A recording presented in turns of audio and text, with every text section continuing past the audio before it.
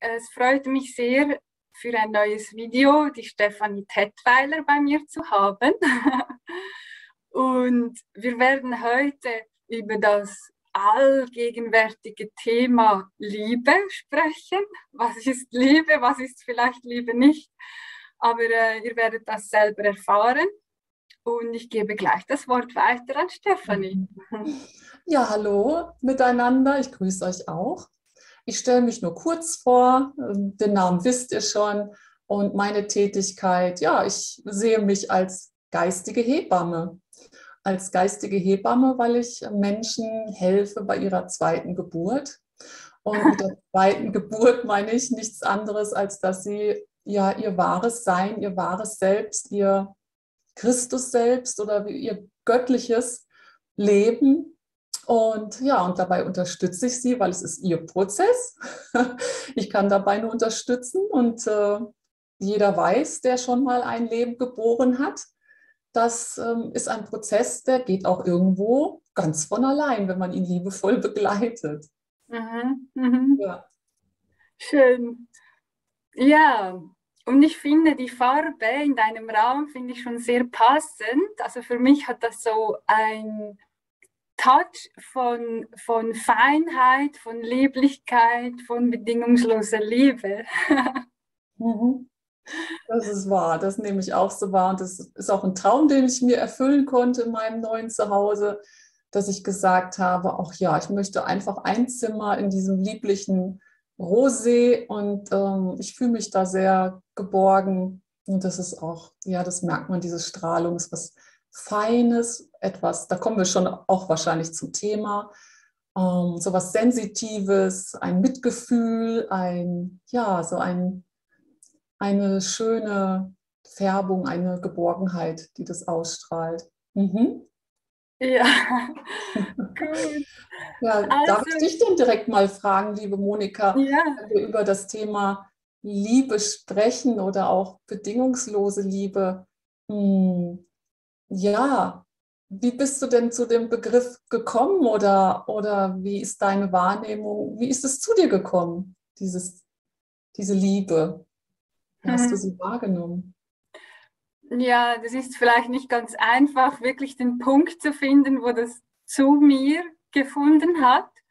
Aber ich habe in meinem ganzen Leben immer wieder Begegnungen gehabt. Also heute würde ich sagen, Seelenverwandte in unterschiedlichen Graden, wo ich einfach gespürt habe, es gibt eine Liebe, die darf fließen und die darf sein und die geht von mir weg, auch wenn sie vielleicht nicht so zurückkommt, wie ich mir das ursprünglich vorgestellt habe.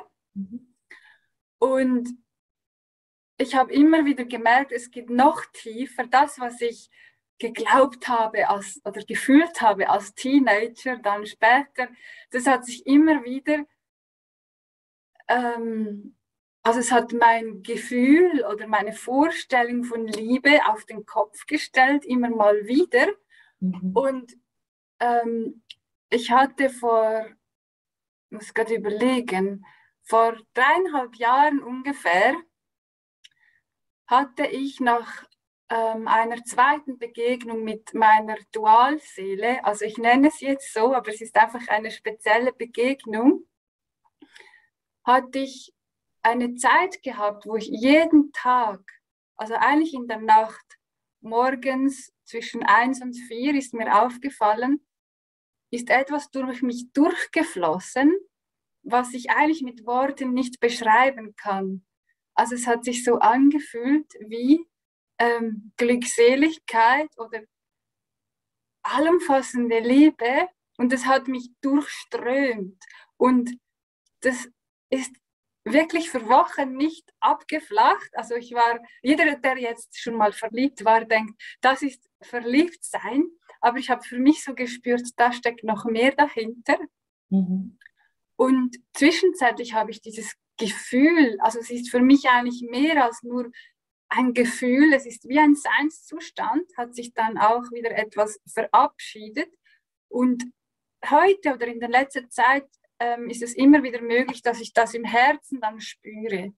Und dann wird mein Herz warm, ähm, dehnt sich aus und manchmal habe ich das Gefühl, es explodiert. Also es ist nicht schmerzhaft, es ist nicht diese schmerzhafte Liebe, weil Liebe ist für mich nicht schmerzhaft, sondern es ist ein Gefühl, was ich auch sehr oft im Herzen fühle und was man eigentlich mit Worten nicht beschreiben kann. Mhm. Und wo ich wirklich für mich gemerkt habe, ähm, es gibt es, diese Liebe, aber die ist nicht an eine Person gebunden. Das ist ein Gefühl oder ein Zustand und wir können immer mehr dieses Gefühl, diesen Zustand erreichen, egal gegenüber welcher Person, egal gegenüber ähm, irgendeiner Situation. Also es muss dann nicht Sonnenschein sein, es muss nicht äh, meine Lieblingsmusik laufen, es, es entsteht in mir drin und ich kann es manchmal nicht kontrollieren. Also es ist nicht abhängig vom Außen. Mhm. Also das ist etwas, äh, wo mir oft die Worte fehlen und wenn ich so die Menschen sprechen höre, manchmal über Liebe, ist so mir aufgefallen, dass es so eine Vorstellung ist von ich brauche etwas oder ich liebe jemanden nur dann, wenn. Also so eine abhängige Liebe, und dass es noch etwas gibt, was ähm, nicht etwas im Außen braucht. Und also mein, mein Ansatz ist auch als Coach, spirituelle Lehrerin und Heilerin, dieses Gefühl in anderen Menschen wachzurufen, zu lieben, auch wenn vielleicht etwas nicht in derselben Weise zurückkommt oder zu geben, zu empfangen auch bedingungslos und ähm, ja, einfach die Menschen in ein besseres Gefühl bringen zu lassen und zu lieben. Das ist auch so meine Aufgabe oder einer von meinen vielen Aufgaben. Ja. ja, und hast du denn so ein ähnliches Erlebnis oder könntest du beschreiben, was ist für dich Liebe oder wie bist du dazu gekommen? Ja, das ist ähnlich wie bei dir auch zuerst eben als, als Mensch in dieser Welt haben wir gelernt, eben eher bedingt zu lieben, ähm, auch etwas manipulativ Liebe einzusetzen oder zumindest zu meinen, das sei Liebe in dem Moment. Aber naja, eben diese kleinen Manipulationsversuche, die man auch von den Eltern her kannte. Ja, wenn du lieb bist, dann kriegst du dies. Und wir haben uns angestrengt, lieb zu sein, liebevoll zu sein. Und ähm, irgendwann stellt man dann doch fest, es ist nicht mit einer Anstrengung verbunden, sondern es ist mit dem Loslassen von Anstrengung verbunden oder überhaupt mit sehr viel Loslassen hat das für mich zu tun und sich da wirklich reinfallen zu lassen. Und es ist ähnlich geweckt worden wie bei dir. Ich bin auch damals jemandem begegnet und ah, das ja. war auch eine Tiefe und eine Weite und eine Größe, die ich so nicht beschreiben kann. Aber ich kann mich an eines erinnern, dass ich mal an einem Abend in die Augen desjenigen geschaut habe und wirklich auf den Urgrund geschaut habe. Also ich konnte den Urgrund oder den Kosmos oder Gott oder irgendwas sehen. Und, und in dem Moment habe ich wirklich gefühlt, gewusst, also meine ganzen Zellen in meinem ganzen Körper haben gewusst, das ist gerade die Liebe Gottes, die ich wahrnehme. Wow. Und das war so, ja, da bin ich jetzt noch gerührt. Das ist so, so, so ehrfürchtig oder so. Mit Furcht hat es nichts zu tun. ja, ja, aber ich weiß. fehlen mir dann wirklich die Worte und, ja. und dieses, dieses, dann zu haben und zu wissen, ja, und es ist jetzt nicht abhängig von demjenigen, der da ist, ja. Er, er lässt es in dem Moment auch gerade durch sich strömen, ja. Er ist auch vollkommen frei gewesen. Und dieses Gefühl, das habe ich dann ja später auch ohne diesen Menschen immer wieder gehabt. Also wir sind nicht zusammengekommen oder zusammengeblieben oder wie auch immer.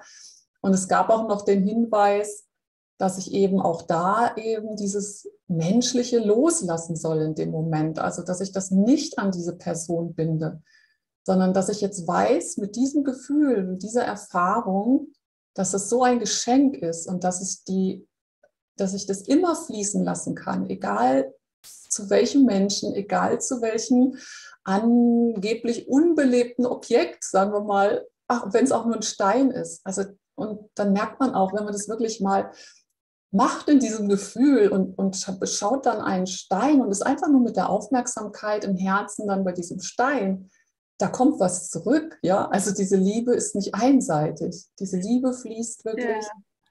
Von einem zum anderen und ich glaube, das ist auch gerade dieses große Geschenk, was wir alle für uns entdecken dürfen, immer mehr, dass, ja, dass wir da hinkommen, da ist überall diese göttliche Liebe in allen. Und jetzt schaffen wir es nur noch durch, diese, durch diesen Schleier hindurchzuschauen, ja. Und dann sehen wir das Göttliche wirklich in allem, was uns umgibt. Ja, sehr schön. Und wie würdest du denn jetzt Menschen auf ihrem Weg helfen, ähm, zu der Liebe zu gelangen? Oder was hast du vielleicht für konkrete Tipps? Weil es ist ja also du kannst natürlich Bücher darüber lesen und kannst dir eine, eine, Vorstellung erhalten, aber man muss es ja erlebt haben. Aber gibt es etwas, was du vielleicht auch für dich tust oder mhm. getan hast, falls du das äh, beschreiben kannst? Ja, also das, was ich immer wieder tue, wenn ich merke, ich bin zu sehr mit Äußerlichkeiten beschäftigt oder meine Aufmerksamkeit fließt vielleicht zu Dingen, die erstmal nicht so besonders liebevoll erscheinen im Äußeren, mich immer erst wieder zu mir zurückzunehmen. Also den Blick abzuwenden von scheinbarer Unvollkommenheit. Ja, man könnte draußen jede Menge Unvollkommenheit sehen. Ähm, ja. Aber ich lasse die Bewertung als erstes weg. Also ich gehe wirklich in mich, in mein Herz, ziehe ich mich zurück ziehe mich in mein, ich nenne es jetzt mal ein Kokon, ja, ich ziehe mich in meinen Kokon zurück, gehe in mein Herz und gehe in diesen, in diesen Frieden und in diese Stille. Weil wenn alles im Außen wegfällt und ich in dieser Stille und in diesem Frieden meines Herzens bin, dann kommt es automatisch wieder. Also wir sind ja die Liebe, wir sind ja die bedingungslose Liebe. In unseren Herzen ist ein riesiger Elektromagnet, der nur Liebe ausstrahlt permanent wenn ja. wir nicht daran hindern mit unserem Verstand, so sage ich mal. Und deshalb ist es für mich so wichtig, den Verstand wirklich ähm, still werden zu lassen, sich einen Punkt zu suchen, vielleicht irgendwo einen kleinen Punkt zu fokussieren, den ruhig zu betrachten, Gedanken kommen und gehen zu lassen, aber sich nicht mehr daran festzuhalten, sie wirklich wieder wegfließen zu lassen und zu, diesem, zu dieser Stille zu kommen ich habe das mal genannt Peace of No Mind, weil ich kannte diesen Begriff aus der spirituellen Lehre, ja, Peace of Mind. Und dann habe ich immer gesagt, ja, Peace of Mind. Aber der Verstand ist doch überhaupt nicht friedlich und der will auch gar nicht friedlich sein. Und dann kam ich dahinter, ja, aber wenn der Verstand nichts mehr sagt, dann ist Frieden. Und dann hieß es für mich also, aha, es ist Peace of No Mind. Jetzt ist es richtig für mich, ja.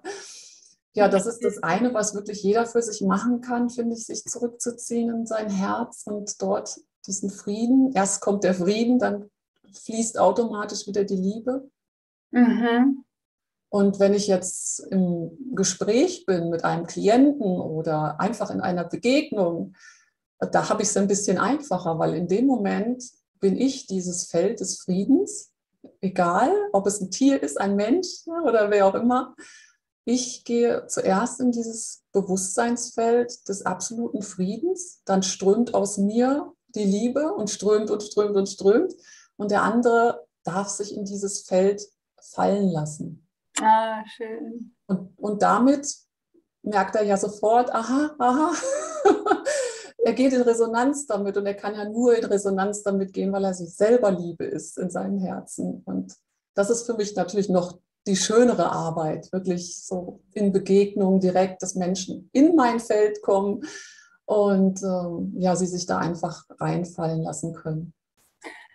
Ja, sehr schön. Und was würdest du jemandem jetzt noch mit auf den Weg gehen? Denn, also du sagst, der Mensch fühlt die Liebe, deine Präsenz und er kann fast nicht anders als sich hingeben. Aber vielleicht hattest du das auch schon in deinen Beratungen oder Sessionen, jemand, der dann im Kopf bleiben will oder in der Opferrolle bleiben will. Und natürlich fühlt er sich vielleicht entspannt oder hast du da noch eine andere Herangehensweise, wie du den mitnehmen kannst? Also tust du dann das mit Worten oder ähm, also, weil es gibt da immer auch in Gesprächen, ob das jetzt im Privaten oder im Geschäftlichen ist, vielleicht so Momente, wo jemand dann sagt, aber das stimmt nicht und ja, du kannst reden, aber?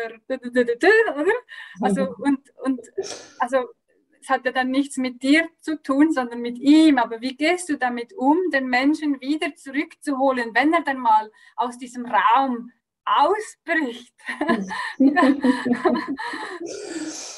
Ja, ich verstehe, was du meinst und worauf du hinaus willst, aber es ist tatsächlich so, dass ich mich weniger um die Sprache kümmere in dem Moment.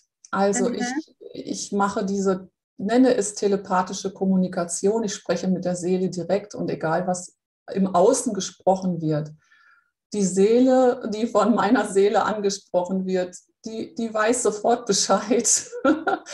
Oh, ja, die erinnert sich sofort und ähm, es ist dann so, dass, dass dieser Funke einfach wieder geweckt wird. Es wird so ein bisschen, wie soll ich sagen, mit dieser Liebe, die ich dann ausstrahle oder auch indem ich die Liebe in dem anderen ja erkenne und ich, ich sehe ihn schon in seiner Vollkommenheit. Ja, ich, ich sehe schon ihn in seiner neuen Geburt. Also das sehe ich alles schon. Und ich, das ist, naja, wenn du, wenn du eben so einen felsenfesten Glauben hast und es auch schon erlebt hast, dann ist es ja unerschütterlich. Und diese Unerschütterlichkeit, ich glaube, das ist das, was, was dann dieser Seele so gut tut in diesem Moment. Und sie merkt, da gibt es tatsächlich diesen großen Glauben und diese Unerschütterlichkeit.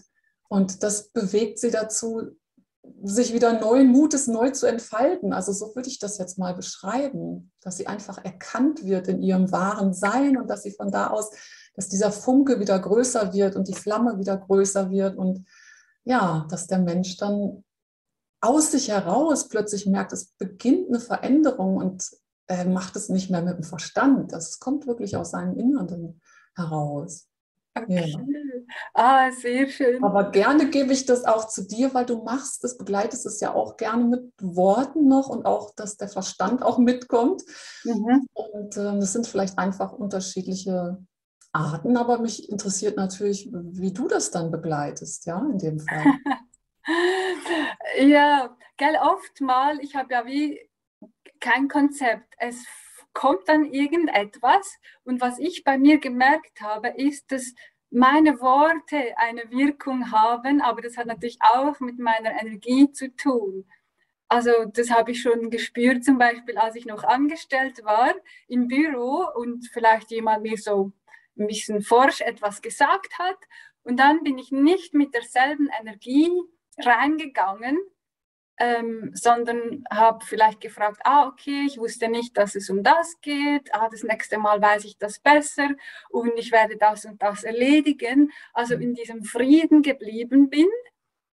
Und Klar, schlussendlich war es meine Energie, aber meine Energie haben meine Worte geformt. Und da habe ich gemerkt, dann beruhigen sich die Menschen, auch weil ich in meiner Mitte bin und nicht mitspiele, weil sonst entsteht da ein Ping-Pong-Spiel, mhm. wenn ich ja mit derselben Energie oder einer ähnlichen Energie wie das Gegenüber mitgegangen wäre.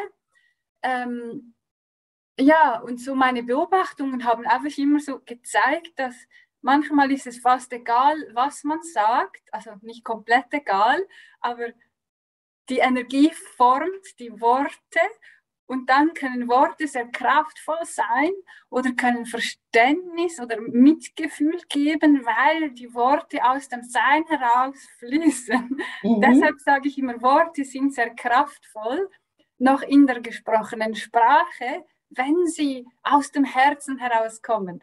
Und da wären wir bei der herzbasierten Kommunikation. Also das Herz, die Liebe, die Weiblichkeit und für mich die Kommunikation als Ausdruck, als Aktivität des Männlichen. Diese beiden Aspekte miteinander verbunden, die wirken Wunder, oder? Also habe ich so für mich herausgefunden, dass ähm, ja, natürlich jedes Wort eine Schwingung hat, aber wenn ich in der Liebe bin und in der Achtsamkeit und ähm, ja, dann etwas sage und ich ich überlege dann vielleicht gar nicht so groß, was ich sage, sondern es fließt einfach und dann passiert etwas. Das, das ist so das, was ich tue und sehr, sehr oft genau passiert es einfach. Und ähm, also für mich ist auch so ein Ansatz, oder dass die Menschen ähm, an ihrem Herzchakra arbeiten oder Verletzungen auflösen oder Glaubenssätze auflösen, um diese Liebe auch zu spüren und dann befähigt sind, egal ob es jetzt eine Handlung ist oder Worte, was ja auch Handlungen sind, aus der Liebe heraus zu wirken. Oder, also das, ich mhm. nenne es jetzt so Herzchakra, oft heißt es ja eigentlich ist da gar nicht mehr so wichtig, aber dieser Herzraum oder dieser, dieser Raum wieder ganz werden zu lassen und die Liebe in sich zu spüren und das Licht und daraus zu wirken. Ja. Ja. Ja, ich habe das auch schon mal so ein bisschen untersucht. Wo kommt es her? Was ist das überhaupt, diese bedingungslose Liebe? Und ich bin dann, damit mein Verstand da auch natürlich äh, mitkommt oder mhm. möchte die Dinge ja auch begreifen, ja. Mhm. Weil ich finde, der Geist ist ja ebenso wichtig, auch wie die Liebe oder wenn sich das eben miteinander verschmilzt, dass man Verständnis hat und dieses Herz für viele Menschen ja auch ganz wichtig. Mhm. Dass man weiß, ja, Liebe im Grunde genommen, alle Elektronen in dieser Welt, dass das ein riesiger Elektronenstrom ist, den wir zum Beispiel jetzt aus unserer Zentralsonne bekommen, wiederum über Aha. unsere Sonne unseres Sonnensystems und dort weiter verteilt wird und dass das wirklich im ganzen Universum großzügig verteilt wird. Und wir aber in unseren Herzen, wie ich das vorhin schon mal angesprochen habe, dass das wirklich wie ein Elektromagnet ist, der zieht diesen, Lebensstro diesen Strom an Liebe, an Lebenskraft, an Energie wirklich in sich hinein. Und jetzt bekommt er diese wunderschöne Elektronenergie, dieses Elektronenlicht Aha. und darf es verwenden. Also er darf damit gestalten, er darf das formen in, in, irgendwelche Dinge, die er gerne haben möchte, in Ideen, in, in seine Ausdrucksweise oder wie auch immer. Mhm. Und Jetzt kommt es halt darauf an, wie wird es jetzt von ihm beeigenschaftet, von, dieser, von diesem Menschen oder dieser, dieser Person. Und mhm.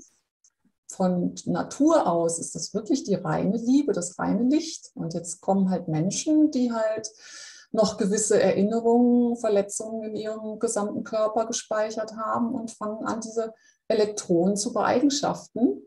Und ja. da sind dann halt manchmal halt Gefühlsbelegungen oder Gedanken, die eben nicht besonders harmonisch schwingen. Und diese, wenn er diese dann ausströmt, in die Welt entlässt, die gehen nicht in das Universum ein, weil das Universum lässt nur Harmonie zu.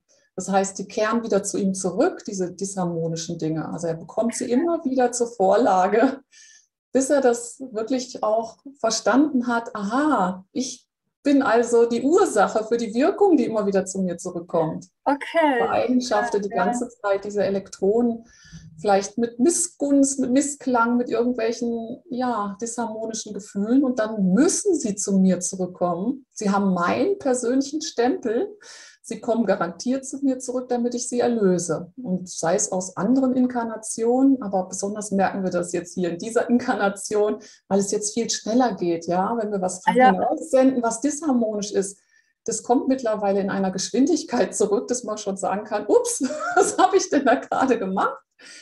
Und dann kann man ja. aber ja gleich wieder ah, ja gut, das ist ein altes Muster gewesen oder ja, man hat ein Verständnis dafür, dass es was Altes, Unerlöstes ist. Und jetzt wieder die Energie vielleicht auch durch die Atmung in sein Herz zu nehmen und das wirklich zu erlösen und zu sagen, ja, das war so, es ist in Ordnung, aber jetzt, ich möchte ja Harmonie. Mein ganzes Wesen sehnt sich nach Harmonie. Alle Menschen, alle Tiere, alles Leben möchte mhm. Harmonie. Weil es ist unser natürlicher Zustand. Und das andere ja. ist etwas Altes, Vergangenes, was wir jetzt wirklich ablegen dürfen. Das war noch mal so, weil ich doch auch gerne mal erkläre oder sage, ja, was gibt es da für ein Bild? Wie kann man das sehen? Ne? Und Und ich sehe auch immer diesen Prozess, diese, diese Transformation wie bei dem Schmetterling, das wird so oft gesagt, aber wenn man sich da wirklich mal tiefer mit beschäftigt und erkennt, ja, ich bin gerade in diesem Prozess, ein Schmetterling zu werden. Ja. Ja, also wirklich meine göttliche Natur, mein göttliches Seelenselbst oder wie auch immer, das, das ist nochmal was ganz anderes als das Leben, das ich bisher geführt habe. Mhm. Aber ich muss mich da schon auch wirklich im Vertrauen diesem Prozess hingeben, weil mhm. alles andere, ich kann sonst diesen Prozess, ja, wenn ich anfange, da mit dem Verstand drin zu arbeiten oder den versuche zu blockieren oder zu verhindern, dann wird es ja ein bisschen holprig, ne, dieses Ganze. Äh, naturgemäß kann ja nur unsere wahre Gottesnatur sich entfalten wollen. Und dass wir uns dem ja. auch wirklich hingeben. Ja, das ist das, ein schönes Wort, die Hingabe, oder? Das ist auch so ein, ein weibliches Attribut, eigentlich nichts tun. Und also durch die Hingabe kommen wir ja auch immer mehr ähm, in die Verbindung mit unserer Intuition, mit höheren Quellen. Und gibt es vielleicht da noch einen Tipp ähm, zusätzlich ähm, an unsere Zuschauerinnen und Zuschauer, wie man in die Hingabe kommt, weil wir sind da so ein bisschen darauf programmiert oder es wird vorgemacht und wir haben schon Jahrtausende so gelebt, dass man so viel tun muss oder wir müssen ja so viel erreichen, um irgendwo hinzugelangen. Und viele Menschen haben ja Mühe, sich etwas hinzugeben, zu akzeptieren, zu umarmen, um mal nichts zu tun oder zu fühlen. Und hast du da auch aus eigener Erfahrung oder aus deiner Tätigkeit praktische Tipps, wie, ja, wie wir mehr in, in die Hingabe kommen können? Na, ich würde jetzt, ich glaube, bei mir ist es immer die gleiche Praxis ja. die Energie abzuziehen von den äußerlichen Erscheinungen, wieder ins Innere, in die Meditation, aber eben nicht in die Meditation, wo ich sage, jetzt werde ich wieder geführt oder jetzt werde ich wieder begleitet mit Sprache oder sonstigen Dingen. Ja, einfach, ja, einfach, einfach, einfach loslassen. Ja, das, das hört ja, ja oft so einfach an, aber es ist ja für viele Menschen ist es ja so schwierig, weil ich sage manchmal einfach auch, du musst einfach loslassen. Und, und oft, also ist jetzt meine Erfahrung, dass es dann geschieht, wenn wir es nicht mehr wollen. Oder? Dann mhm. eigentlich, wenn ich nichts mehr will. Ich will nicht einmal mehr in der Hingabe sein. Ich will nicht mal nicht loslassen, also lasse ich los, etwas tun zu müssen und dann geschehen, geschehen Dinge. Kennst du das auch bei dir? Ja, das kenne ich. Und das wird als, hm, naja, es wird negativ bewertet mit dem Wort Resignation zum Beispiel. Aber wenn wir erkennen auch, dass Resignation auch ein ganz wichtiger Prozessschritt sein kann, einfach mal zu resignieren und zu sagen, nein, ich habe jetzt wirklich, ich habe satt, ich will nicht mehr. Ja. Auch das wo jetzt andere sagen würden, nein, das ist Resignation, das ist doch nicht das Richtige. Doch, es ist alles richtig, gibt nichts Überflüssiges im Universum. Ja. Weil nach der Resignation einmal wirklich, ich hatte das in meinem Leben auch, einen Punkt der vollkommenen Resignation. Ja, also am Boden sozusagen, hoffnungslos, zerschmettert. Und das, ja, aus, aus diesem wieder aufzuerstehen. Ne? Also Wow, aufzuerstehen, also das ist ja so bringst du das jetzt in, in Verbindung mit der Auferstehung oder wie der Phönix aus der Asche oder Definitiv. Äh, ja. Oder auch mit der Christusgeschichte, weil ich, ich merke immer mehr, es geht um dieses Christuserwachen in uns und für mich hat das aber nichts zwingend mit Religion zu tun, ja. sondern für mich ist es einfach, das ist ein Prozess der Menschheit, der ja, dass wir alle zu diesem Solaren, zu diesem Sonnenchristus, unser wahres Wesen, dass das erblühen, erstrahlen will. Und deshalb kommt dann auch die, die Geschichte mit der Auferstehung, kommt auch mit da rein, weil es uns tatsächlich ein Mensch schon auf Erden vorgelebt hat, dass es geht und dass man dafür auch nichts Besonderes sein muss. Es war nicht äh, unbedingt der Auserwählte, sondern es war derjenige, der sich am meisten hingegeben hat in diesem Prozess, ja. Und ob du es ja. auch nennst, der Phönix aus der Asche, ja, genau, aus diesem Punkt, wo der Verstand quasi an sein Ende kommt, wo er keine Kontrolle mehr hat. Mhm. So war es mhm. bei mir, ja, wo der Verstand nicht mehr kontrollieren konnte oder wie es jetzt in der aktuellen Situation auch da draußen so wahrnehmbar ist, ähm, wenn der Verstand eben eine Situation nicht mehr kontrollieren kann oder man merkt, er hm, behindert sich selbst mit seinen Restriktionen so sehr, dass er kapitulieren muss irgendwann. Ja, ja. Dann kann dieser schöne Phönix aus der Asche, die zweite Geburt, dann kann dieses Christus selbst erwachen und die Führung übernehmen.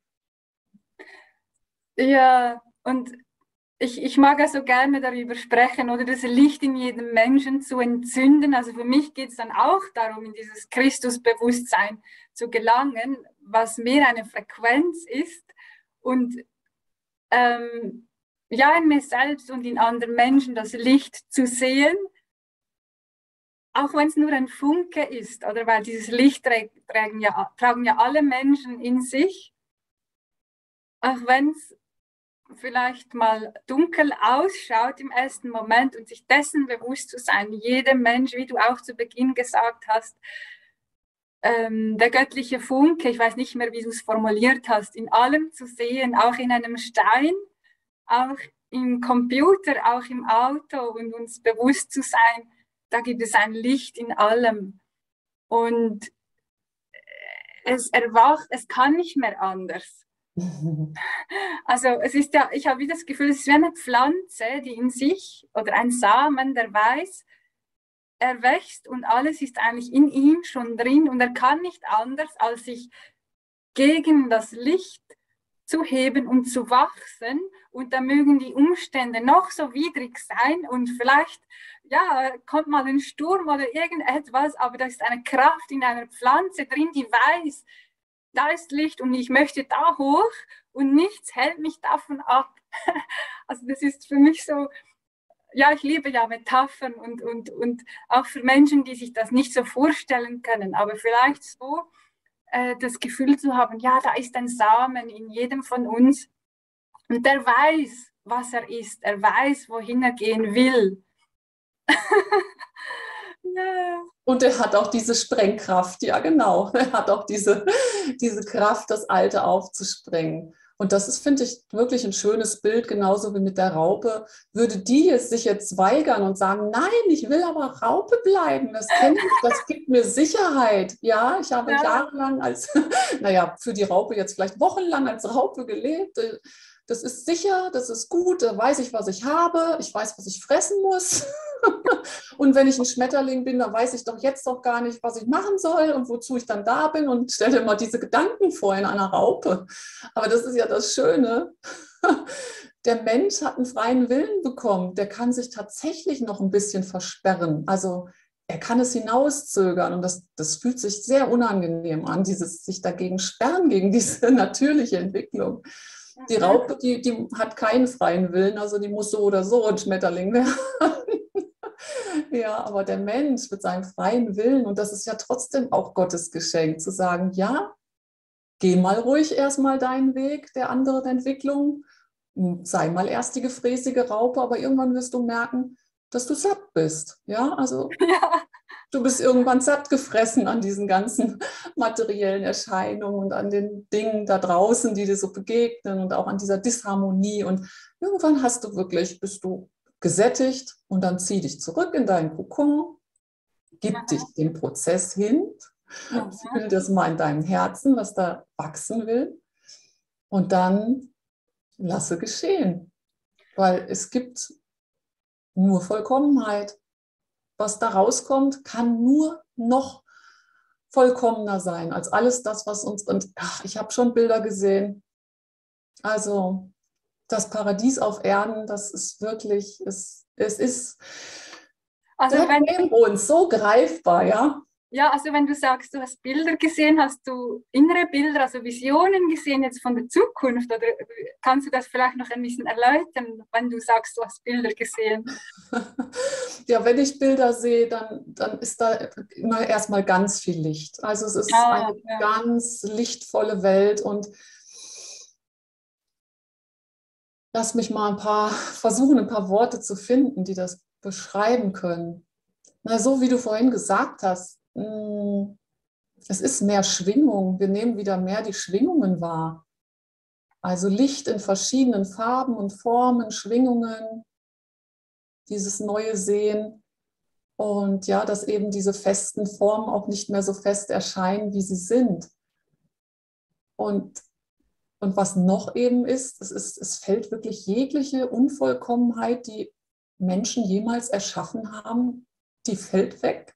Also ja, es geht nicht mehr anders, oder? Also eben, wir können uns sträuben, oder es ist wirklich so dieser Moment, wo ich immer wieder fühle, bei mir selbst, wenn noch was raus will, oder bei anderen Menschen, äh, äh irgendwie da kann, kann dir noch jemand auf den Deckel, äh, wie sagt man so, da kann der Deckel drauf sein und noch so fest drücken, na, da suchst du dir halt einen anderen Weg, anstatt darauf, wo es vielleicht nicht geht. Ja. Also, aber es geht nicht mehr anders und also das ist natürlich ein Prozess, aber ich finde es so schön, wie du, wie du Bilder siehst und ich habe für mich auch das Gefühl, ich spüre es im kleinen See, ich sage das so, aber für mich gibt es keine Umkehr, also die, die Liebe, der Frieden wird zurückkehren. Und als Seele wissen wir das. Und als Mensch haben wir es teilweise vergessen und dürfen uns jetzt daran erinnern und andere Menschen mitnehmen oder inspirieren durch unser Tun und unser Sein. Mhm. Und ja, auch, das hat ja dann auch mit der Freude zu tun. Oder? Es geht ja nicht mehr um die, die Liebe, sondern alles, was hochschwingt. Oder dieses zu leben auf der Erde und dass das möglich ist. Ich verstehe Menschen, die sagen, das ist nicht möglich, es gab schon immer ähm, Gut und Böse oder es gab schon immer Kriege. Das ist der Verstand, der nicht verstehen kann, weil es seine Vorstellung überschreitet, dass da etwas sein kann, wo es eben nicht mehr in dieser Harmonie ist und dass, ja, dass es darum geht, sich daran zu erinnern und Teil davon zu sein. Mhm. Also es geht ja nicht darum, dass eben es fällt uns kein Jesus vor die Füße, weil wir sind all diejenigen, die diese Kraft in uns haben und das auf die Welt bringen können. Natürlich hilft uns ja die Energie, die kosmische Energie, feinstoffliche Wesen aus meiner Sicht aus, auch positive Außerirdische. Einfach, da ist das, das ganze Universum schaut dazu und möchte, dass die Erde ihr Bewusstsein, also und die Menschheit ihr Bewusstsein erhöht und wieder zurückkommt in die Liebe und in die Harmonie und es ist nicht langweilig. Es wird immer noch schön und, und spannend sein. Es ist ja nicht nur so, dass wir dann nur auf der Wiese liegen und Wolken anschauen, aber diese Energie zu haben, in der Freude, in der Liebe, im Frieden zu sein. Ja. Ja, und das ist wirklich schön. Das braucht wirklich solche Seelen, die sich, wie ich schon gesagt habe, die da unerschütterlich sind die die anderen noch ein bisschen mitnehmen in der Energie, ja, die, weil das ist auch eben dieses Bild, wenn ich mit dem Verständnis Gottes auf dieses Universum schaue und da ist noch diese Erde und die sieht jetzt im Augenblick ein bisschen kränklich aus. Für ihn ist es überhaupt kein Problem, ja, weil für Gott ist das ganz klar, dass, dass diese Erde aufsteigt. Das ist so sicher, wie sagt man, wie das Arm in der Kirche, hat man früher gesagt weil ja. in seinem Universum ist alles vollkommen und äh, für uns ist es nur noch, also er, er, ist ja nicht innerhalb der Zeit, also er sieht ja die Vollkommenheit schon. Es ist die Vollkommenheit ist ja schon da, nur in der linearen Zeit, die wir jetzt wieder für uns hier sehen. Da meinen wir, ach, das dauert jetzt noch und das dauert jetzt noch, aber das ist, das ist ja auch nochmal ein guter Punkt, die, diese Verbindung in dieser Meditation, wo ich bin, wenn ich da wirklich in diesem Frieden bin, dann trete ich aus aus der Zeit. Also ich trete wirklich ja. aus dieser kollektiven Zeit, aus diesem kollektiven Bewusstsein in dem Moment aus und dann sehe ich die Wirklichkeit, dann sehe ich, was wirklich da ist. Und dieser, dieser alte Schleier, wie man sagt, der ist dann weg in dem Moment. Und deshalb ist es ja auch so wichtig, so häufig zu diesem Punkt ähm, zu kehren oder einzukehren und dort diese Vollkommenheit wahrzunehmen. Denn je öfter ich dort bin, desto mehr wird das zu meiner Realität, die ich wieder mitbringe, dann in diese Zeit. Also es ist wirklich dort, wo alles vollkommen ist, bin ich und dann nehme ich das mit wieder hierhin in die Zeit oder in den Raum oder in den Arbeitstag oder was auch immer. Und dieses, dieses Runterziehen, ja, dieser Vollkommenheit, ich glaube, das ist nochmal auch ein, ein, wichtiger Punkt an der Stelle. Ja, ähm, also, das, also ich sehe das ja so, oder diese Spiritualität, diese Liebe genau auf der Erde auch zu leben. Also wenn ich dich jetzt richtig verstanden habe, dass wir das nicht nur in der Meditation erleben, sondern auch dann, wenn wir nicht meditieren, oder?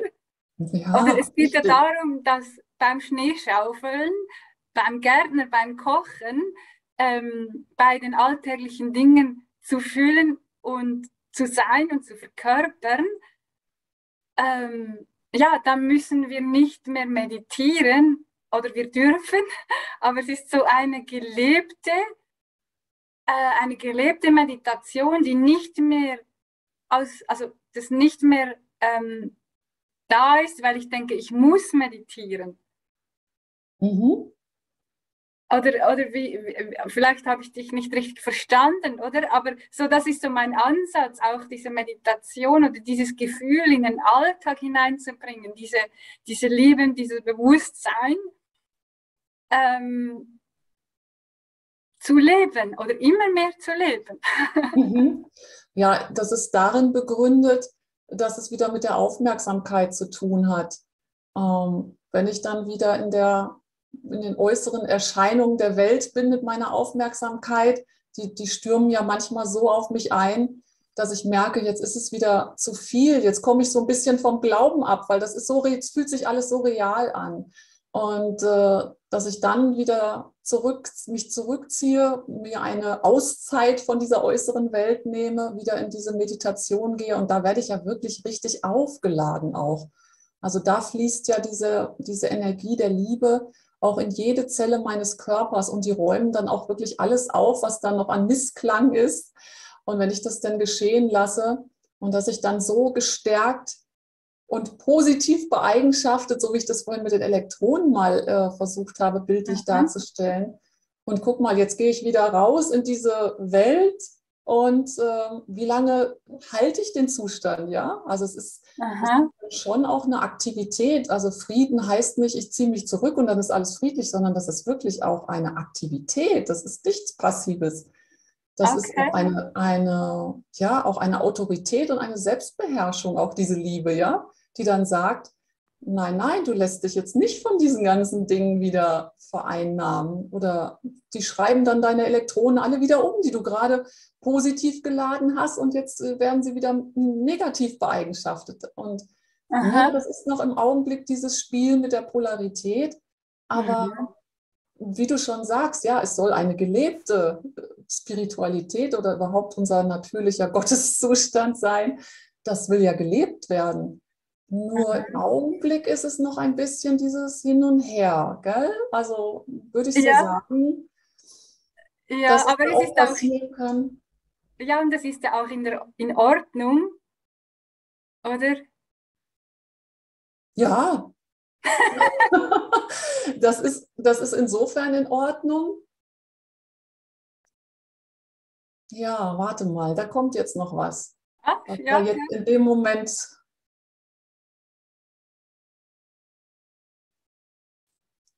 Ja, nicht, dass wir versuchen, das jetzt zu, um, uns so schön zu reden, dass das alles mit dazugehört, weil es ist wirklich wichtig zu wissen, dass diese Freude und in dieser Liebe zu sein, dass das unser einziger natürlicher Zustand ist. Also das ist wirklich der wahre, einzige natürliche Zustand, der für uns vorgesehen ist. Und das andere ist noch das aus der alten Zeit, das wir mitgenommen haben oder auch halt so karmische Dinge.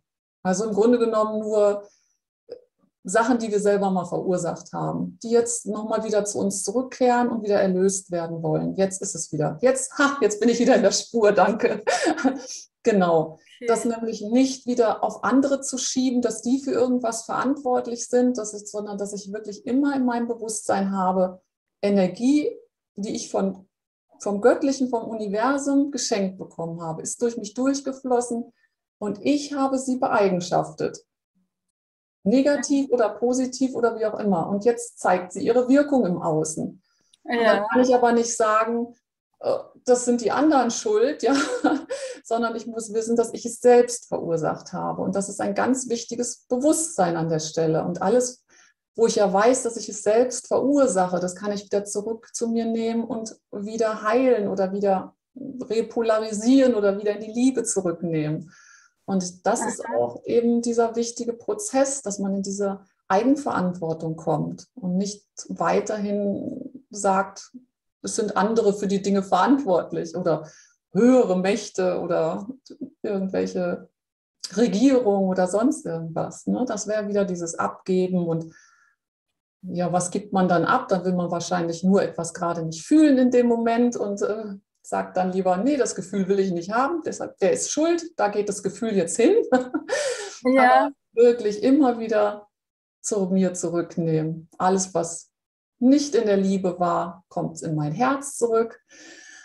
Kann ich in einem ruhigen Atem, das ist ja auch nochmal sowas, ein ruhiger, ausgleichender Atem, damit kann ich es wieder heilen. Ich kann auch mit der violetten Flamme arbeiten. Das ist ein Geschenk, das wir bekommen haben.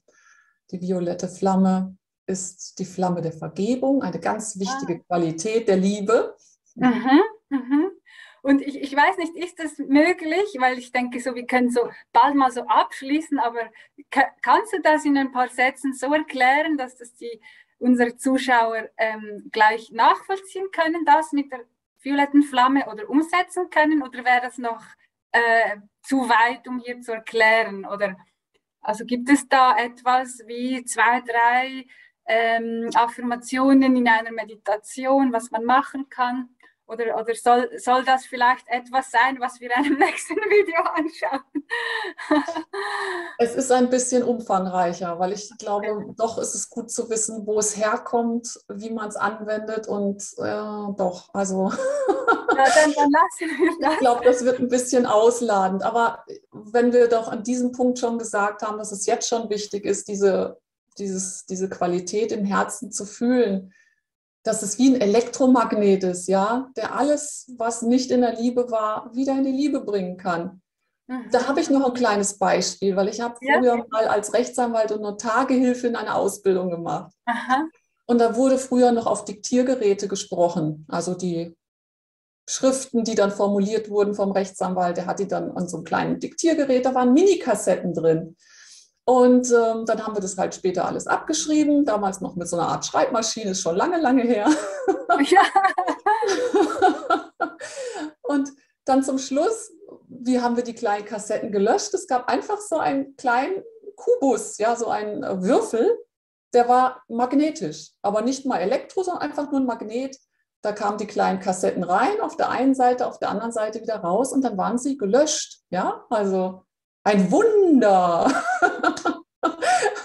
Und nichts anderes kann unser Herz ja auch. Genau. Nämlich diese Sachen, die zu uns zurückkommen, die disharmonisch sind, reinnehmen, annehmen mhm. und wie durch diesen Elektromagneten, zack, und dann ist es wieder repolarisiert oder wieder in einer, ja, wieder in der Liebe oder wieder in der Harmonie und wieder in der Vollkommenheit. Äh, ja, das ist doch ein sehr schönes Beispiel und auch etwas aus der Praxis zu sehen, um einen Vergleich zu haben, wie das ungefähr funktioniert und zu sehen, dass alles Energie ist und man kann Dinge überschreiben oder, oder verändern. Es geht auch immer nur darum, das, was existiert, in eine andere Form zu bringen oder zu wandeln. Mhm, genau. Ja. Genau. ja. Ach, ja. Hast du noch irgendwie etwas, was dir gerade auf dem Herzen liegt zum Thema Liebe? Wir haben es ein bisschen ausgedehnt, aber es gehört ja auch alles zusammen und äh, ich fand es ein sehr spannendes Gespräch. Wir könnten da sicher noch weiter ähm, uns unterhalten und philosophieren. Aber gibt es noch etwas jetzt zum Thema Liebe oder Bewusstsein, was du noch ähm, mitgeben möchtest? das Einzige, was ich wirklich noch mitgeben möchte und immer wieder gerne bekräftige, dass jeder Mensch weiß, dass er schon allein aus seiner Substanz die Liebe selbst ist, ja, geformt. Ja. dieser schöne Körper auch ein wirklich aus Liebe gemacht wurde und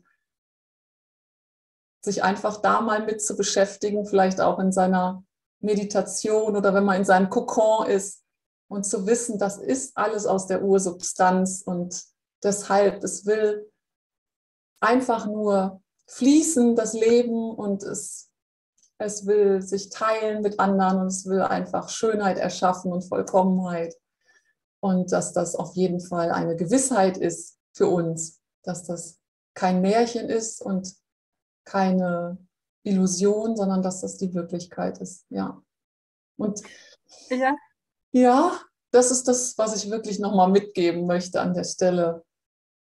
Ja, sehr schön. Und wenn wir uns ja eben, wie gesagt, mal in einem dunklen Loch befinden oder so, dann sich schon nur daran zu erinnern, auch wenn es ein paar Momente sind, das bringt uns ja auch in eine höhere Frequenz. Oder auch wenn wir denken, oh nein, aber irgendwie heute schaut es gerade nicht so aus. Oder da im Außen alles mit dieser Situation gerade, aber diese Bewusstwerdung, auch vielleicht fühlt man es auch gerade nicht für den Moment, oder? Aber schon nur sich, ich weiß nicht, vielleicht geht es auch mal über den Kopf, bevor es dann im Herz ist, aber sich daran zu erinnern, dass wir Liebe sind und Liebe ist eine hochschwingende Frequenz und da dürfen wir hin, das kann auch schon helfen. ja. ja ähm, es gibt sicher noch weitere spannende Themen, die ich zum Beispiel mit dir, liebe Stefanie, ähm, ja, bereden äh, möchte, wenn du offen bist, aber da schauen wir sicher weiter. Aber ich danke dir herzlich für äh, den schönen Austausch und für die schönen Einsichten zum Thema Liebe, Bewusstsein, Ursprung. Und ja, ich wünsche euch allen einen ganz schönen Tag und viel Freude beim Sein und beim Tun. Und ja, folge deinem Herzen, weil es kennt den Weg. Ich danke dir auch nochmal, liebe Monika, für das schöne Gespräch und allen fürs Zuschauen und Zuhören. Ja, danke euch allen und danke dir, Stefanie. Tschüss zusammen. Tschüss.